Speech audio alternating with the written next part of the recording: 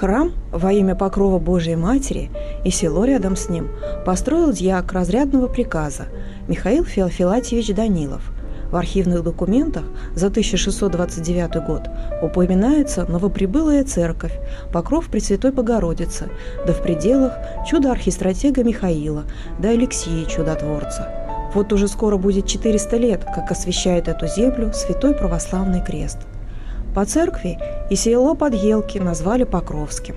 В 1664 году село купил боярин Родион Матвеевич Стрешнев.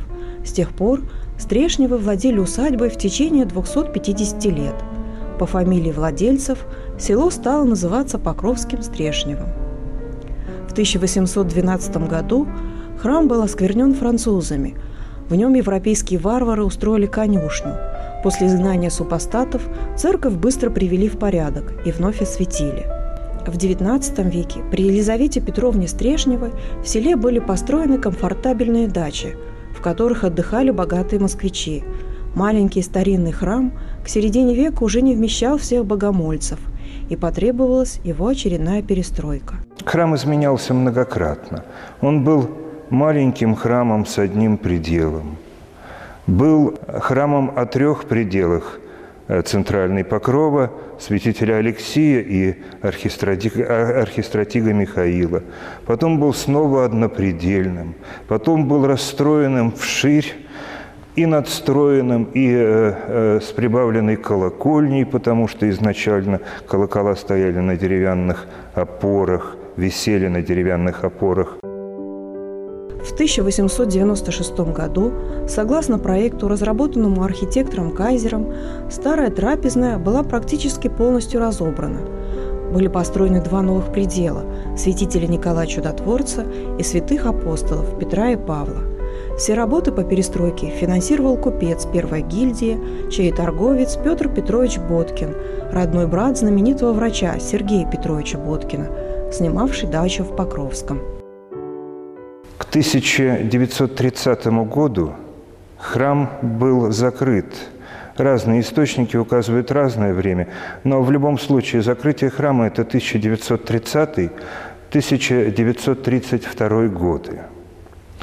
Известно, известно, что последний священник, который служил в этом храме до его закрытия, священник Петр Вележев, долгое время провел в тюремном заключении. После Великой Отечественной войны в храме разместилась топливная лаборатория НИИ гражданской авиации. Верхний ярус колокольни разобрали, главу храма снесли, внутреннее убранство уничтожили. Храм передан Русской Православной Церкви в 1992 году. И здесь действительно начались очень широкие работы, потому что э, храм представлял из себя к этому времени абсолютно разрушенный, и ничего нового этим не скажу, и оригинального, потому что такая судьба была у многих храмов, разрушенный, лишенный каких-либо признаков культового служения, а, просто был ну, большой сарай. Было восстановлено практически все. То есть планировка, старые утраченные элементы, алтарное помещение уникальное само по себе, потому что храм как был вот так четвериком, так и остался, у него нет апсиды. И тогда не было, и по сей день. То есть вот этого алтарного выступа на восток. Там просто плоская стена с окнами. Если говорить о живописи, а, вот о иконах, которые сейчас наполняют весь храм, стены храма – которыми расписан храм, то, конечно, она была восстановлена вся. Восстанавливалась неоднократно, а, пробовался не один стиль, а, не одно цветовое решение, но, наверное, вот оно сейчас, а, то, в котором пребывает храм, лучшее. Пол, утварь, стены, ведь не было ничего. И слава Богу, что в храме появились многие святыни трудами тех, кто его изначально восстанавливал, и тех, кто, наверное, э, так желал его восстановления, что жертвовал, наверное, самые дорогие сердцу вещи. Когда храм был воссоздан, вот восстановлен, он восстанавливается и сейчас. Все собиралось по крупицам. какие-то э, домашние святыни и реликвии, какие-то храмы делились э, тем, что имеют сами. Но, конечно, очень большую роль в созидании храма играют сами прихожане, потому что их вклад, их э, сердечная помощь и руки порой, которые прилагаются даже просто к уборке храма. Это большая помощь для нас, потому что пока нам трудно, храм требует очень большого внимания и капитального ремонта, и прихрамовые э, строения тоже требуют внимания, но главное – это церковное благолепие, которое э, должно поддерживаться, должно приумножаться. И, конечно, многие предметы – и культовые предметы, которые находятся в храме, и многие образа и иконы, а, они пожертвованы прихожанами. Икона Федоровской Божьей Матери, которую мы можем увидеть, войдя в храм, она находится по левую руку. Она пребывает в храме всего лишь год. Люди принесли этот образ, потому что хотели видеть его в стенах храма. А, принесли и попросили нас его разместить. Он нашел свое место и, а, конечно, почитается прихожанами, к нему приходят поклоняться. Была также пожертвована и восстановлена икона Божьей Матери Казанская. И вот когда порой приходится убирать этот образ, на место этого образа ложится а, другой, люди спрашивают, а где же Казанская? Сейчас храм является а, вместилищем нескольких святынь, когда люди приходят и поклоняются им с открытым сердцем, с радостью. Это, конечно, наша икона Покрова. Главная икона храма, икона, а, написанная на рубеже 17-18 веков, стилистически, вот по живописи можно об этом сказать. Икона, которая украшена чеканным окладом и э, драгоценными или полудрагоценными камнями, приношением прихожан, икона, у которой по воскресным дням, когда это возможно, э, совершаются акафисты э, Пресвятой Владычицы нашей Богородицы, празднику ее покрова, икона, к которой приходят многие, которые приносят часто и драгоценные предметы, э, приношения, знаменные благодарность Божьей Матери за ее чудесное заступление, за ее чудесный покров. Конечно, это замечательная выносная икона Покрова, которая сейчас лежит на центральном аналое в храме, которая обычно выносится на сам праздник Покрова для поклонения на службы, для того, чтобы каждый мог приложиться к этой иконе.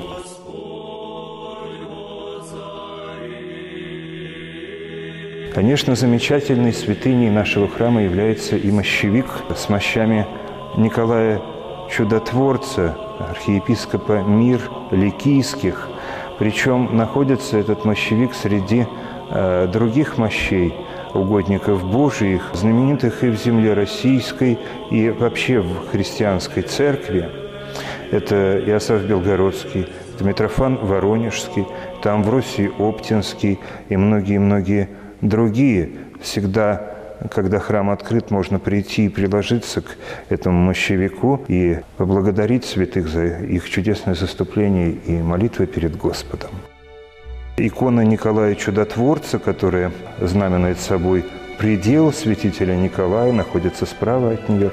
Тоже старинная икона, очень почитаемая нашими прихожанами. Акафист святителю и чудотворцу Николаю, архиепископа мир Ликийских у его святых мощей, служится каждый четверг вечером. Церковь Покрова Пресвятой Богородицы – один из соборов Российского православного университета святого Иоанна Богослова, ректором которого является настоятель этого храма, игумен Петр Иеремеев. Доброй традицией стало то, что 7 июля ко всеночной, накануне памяти святых, в храм переносится ковчег с мощами святых покровителей семьи, благоверных Петра и Февронии, чудотворцев муромских. Ковчег пребывает в храме до 15 сентября. Покровское Стрешнево всегда как-то считалось местом и удачного венчания, одна из русских цариц из рода Стрешневых была взята из этой усадьбы. Петр, простите, Лев Толстой с Софьей Андреевной познакомились тоже здесь, на дачах, в усадьбе Покрова Стрешнева. Вот теперь Господь сподобил Стрешневский храм посещением вот этих святых мощей. Люди приходят, заказывают молебны, э, либо сами читают тихо акафисты, либо читают акафисты организованно со священником, но мощи святых Петра и Февронии никогда не пребывают без внимания. Также мы совершаем освящение вод источника, который некогда окормлялся э, храмом Покрова в Покровском Стрешневе. Было это до революции. Источник, который находится в парке Покрова Стрешнева ближе к реке Химки, где-то в километре от нашего храма. Источник очень известный э, тем, кто живет в этом районе, потому что каждый ходит туда набирать замечательную чистую воду.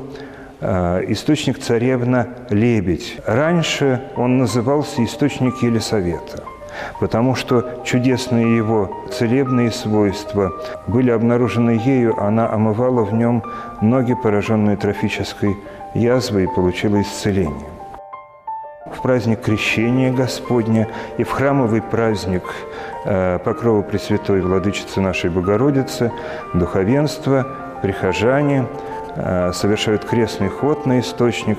И в прошлом году э, наш престольный праздник этот крестный ход возглавил владыка Марк.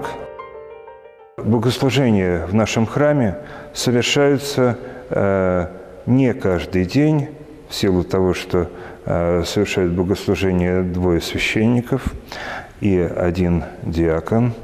Но э, большинство дней недели э, у нас служится божественная литургия. Воскресный день совершается две божественные литургии, ранние в 7 часов и поздние в 9 часов 30 минут. Между ними совершается в 8.30 молебное пение с водосвятием и заупокоенное лития. До храма добраться очень просто. Либо нужно доехать до метро Щукинская и пройти пешком 10 минут. До Волоколамского шоссе, буквально напротив вас, через шоссе вы увидите за красной кирпичной э, оградой усадьбы э, Покрова Стрешнева высоко поднимающийся э, шпиль, увенчанный крестом. Это и есть храм а, Покрова Пресвятой Владычицы нашей Богородицы в Покровском Стрешневе. Адрес его – Волоколамское шоссе, 52. Также можно доехать до метро «Сокол» и, а, выйдя в сторону улицы а, Балтийский и Усиевича, сесть на любой из трех троллейбусов. Это троллейбус номер 12 – 70 и 82